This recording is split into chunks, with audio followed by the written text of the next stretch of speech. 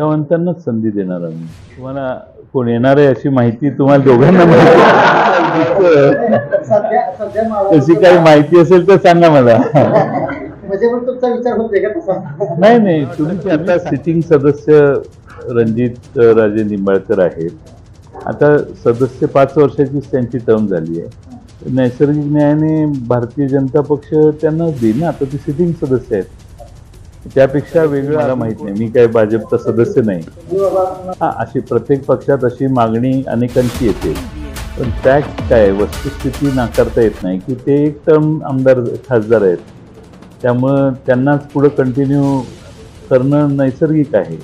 आता बाकीच्यांच्या कितीही मागण्या असल्या तरी त्यांना त्यांचा प्रचार करावा लागेल. रामराजे यांचा रणजित सिंह निंबाळकरांचा प्रचार करताना नाईलाजाने दिसतील काही दिवसात विपरीत परिस्थिती नाही आहे. परिस्थिती फार चांगली आहे. उलट मतदार जो आहे तो मतदार आजही शरद पवार साहेबांच्या मागे आहे. काही मुठभर लोक गेली म्हणजे माणसं जातात. हा गैरसमज मनातनं काढून टाका. अतिशय चांगली परिस्थिती आहे. आम्ही जो उमेदवार या मतदारसंघातनं उभा करू पवार साहेबांनी या मतदारसंघाचं प्रतिनिधित्व केलेलं आहे. आम्ही जो मतदार उमेदवार उभा करू तो इथून निवडून येईल अशी आमची खात्री. तीन चार जण आहेत पण अभय जगताप या सातारा जिल्ह्यातनं प्रॉमिनंटली मागणी करणारे अभय जगताप आहेत. सोलापूर जिल्ह्यातनं एक दोन जण आहेत.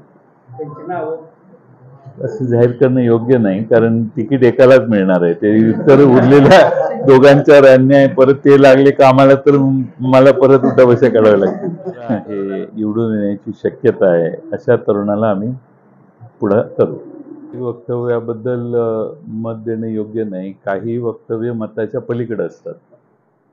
लोक आता लोकांना असं वाटत नाही. आता एवढी लोक जी होती की शरद पवार साहेबांच्या मागं राहण्याचा प्रयत्न सगळी लोक आज करतायत.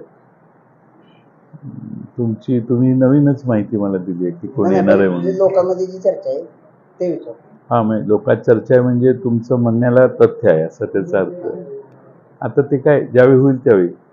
प्रयोजन हे आहे की आम्ही ज्या ठिकाणी लोकसभा मतदारसंघ लढवणार आहोत त्या ठिकाणी प्रत्येक मतदारसंघातल्या कार्यकर्त्यांची तयारी करणं आणि येणाऱ्या लोकसभेच्या साठी विजय निश्चित करण्याचा प्रयत्न आमचा या प्रयत्नातून आहे.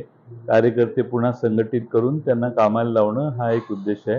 आणि त्याला इतका उत्तम प्रतिसाद मिळतोय की आम्ही बैठका सांगितलेल्या पण त्या मेळाव्यात त्याचं स्वरूप रूपांतर व्हायला लागले.